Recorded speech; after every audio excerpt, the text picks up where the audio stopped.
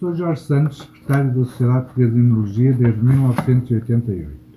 Estou aqui para vos falar de três presidentes, lamentavelmente já desaparecidos, que foram muito importantes para o desenvolvimento da SPI.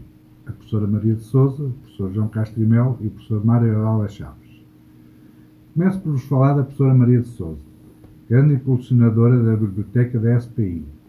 Foi de extrema importância para os membros da sociedade, permitindo a estes acesso a artigos científicos que na altura não eram tão acessíveis como atualmente.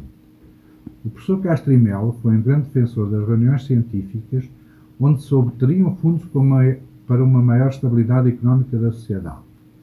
Foi representante da SPI em diversas organizações internacionais e foi no seu mandato que se criou o Prémio Russell de Imunologia. Foi também um dos grandes impulsionadores da criação do Núcleo de Imunologia Clínica.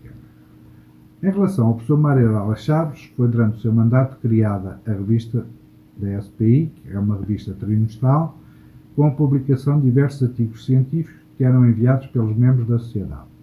Organizaram-se ainda várias reuniões científicas em diversas localidades do país.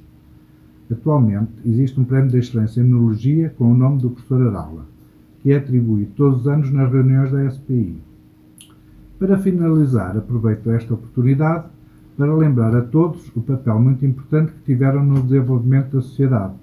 Pessoalmente, foi muito gratificante ter trabalhado com todos eles.